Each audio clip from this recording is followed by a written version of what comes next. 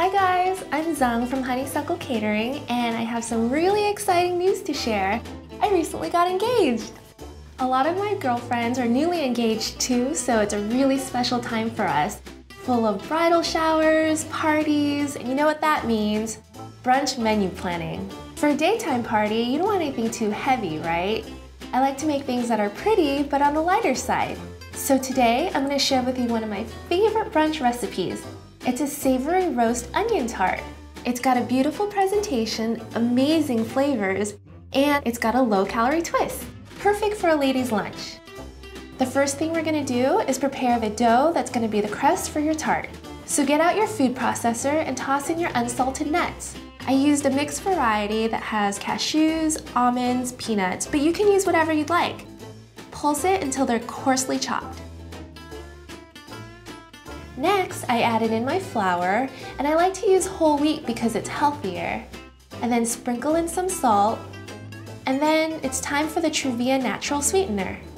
Truvia is a great alternative to sugar or other sweeteners. It tastes great, and it's got zero calories.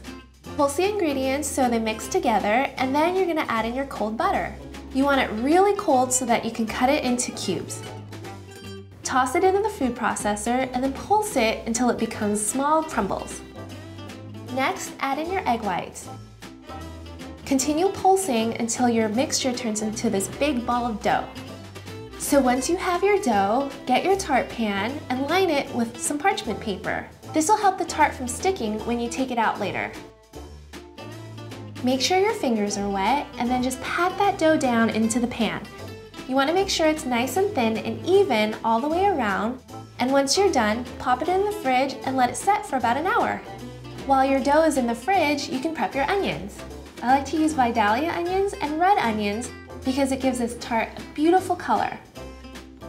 Slice them into small wedges, toss them into a big bowl.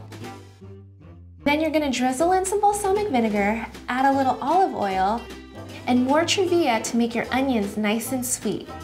Not only does Truvia natural sweetener save calories, but it gets its sweetness from the leaves of a stevia plant. I love that it's natural. So toss your onions until they're nice and coated with all those flavors and then transfer them to a baking sheet. You're gonna take your onions and that tart crust from the fridge and pop them in the oven for 20 minutes. While those are baking, it's time to whip up your cheese filling. It's so easy and fast. I'm using ricotta cheese, which is this light, whipped, creamy cheese that's perfect in a tart. Put your ricotta cheese in a bowl and add in two beaten eggs. Sprinkle in your salt and pepper, then your Truvia natural sweetener. Mix the ingredients until it's nice and fluffy and it becomes this pale yellow color. So now that your onions and crust are baked and your cheese filling is made, it's time to prepare your tart. Take your yummy ricotta filling and scoop it into the tart pan you want to spread it nice and evenly all the way around. Take your roasted onions and arrange them in a beautiful rosette pattern all over the top. I like to use the bigger pieces on the outside and then work my way in with the smaller pieces in the middle.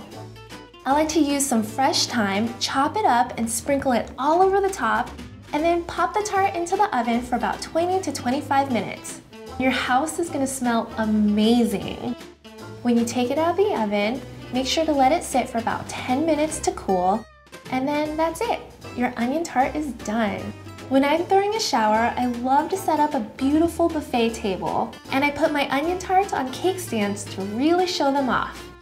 I serve them with a nice green salad and a big platter of fruits full of strawberries, berries, whatever you like.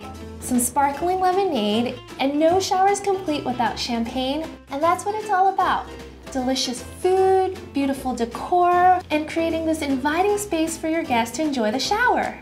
So the next time you're looking for a recipe for a shower, try the savory onion tart. It's got a fancy flair that's sure to impress, and you can feel good about what you're serving because you use a zero calorie natural sweetener. Truvia is such an easy switch, and it tastes so good. How awesome is that?